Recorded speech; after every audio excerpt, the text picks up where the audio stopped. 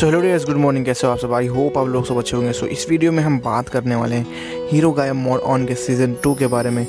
Latest update जो कि निकल कर आ रही है सामने और बहुत ही इंटरेस्टिंग अपडेट होने वाला है। सो so, वीडियो बहुत ही अच्छी होने वाली है एंड इंटरेस्टिंग होने वाली है। सो so, वीडियो अगर थोड़ी सी भी अच्छी लगे तो वीडियो को एक, एक लाइक ज़रूर करना एंड चैनल को सब्सक्राइब कर लेना बेलाइकन को ऑल पर प्रेस कर लेना और हीरो गायब मोड ऑन के फैंस के साथ में वीडियो शेयर ज़रूर करना और अभी तक इंस्टाग्राम पर फॉलो नहीं किया है तो कमेंट सेक्शन में दिया हुआ है जाके फॉलो कर लो।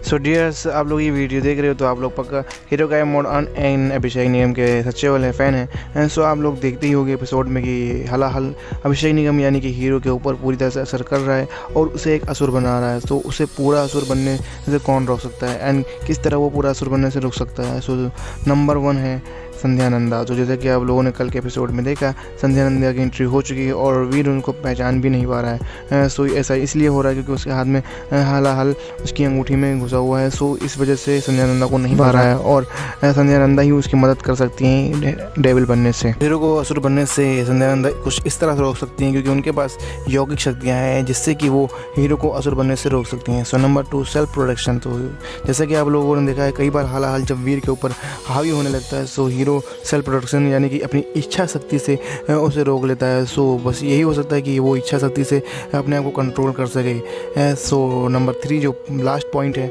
वो है यक्षिनी यानी कि यक्षिका।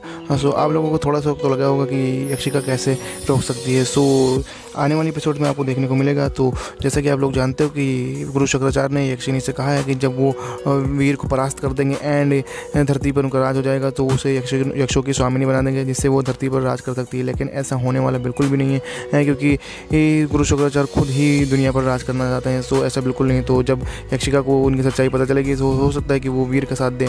एंड वीर जब असुर बन रहा हो सो यक्षिका का दिल पिघल जाए और वो वीर की मदद कर दे। सो आई होप आप लोगों को ये अपडेट अच्छा लगा होगा। अगर थोड़ा सा भी अच्छा लगा तो वीडियो को एक लाइक ज़रूर कर देना। एंड चैनल को सब्सक्राइब कर लेना बेल आइकन को ऑल पर प्रेस कर लेना। तो तब तक चलते हैं नेक्स्ट वीडियो